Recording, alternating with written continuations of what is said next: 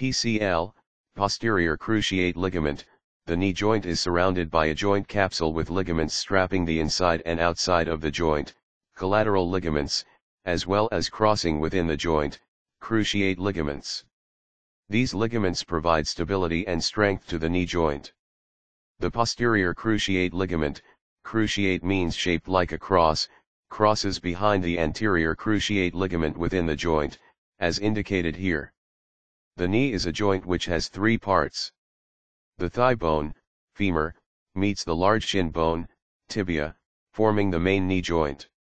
This joint has an inner, medial, and an outer, lateral, compartment.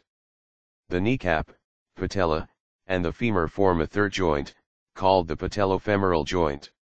The meniscus is a C-shaped cartilage pad between the two joints formed by the femur and tibia. The meniscus acts as a smooth surface for the joint to move on.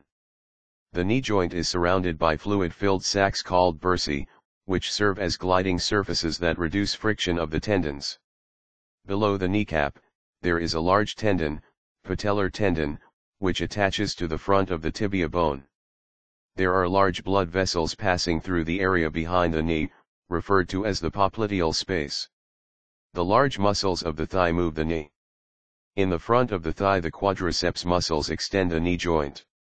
In the back of the thigh, the hamstring muscles flex the knee. The knee also rotates slightly under guidance of specific muscles of the thigh. The knee functions to allow movement of the leg and is critical to normal walking.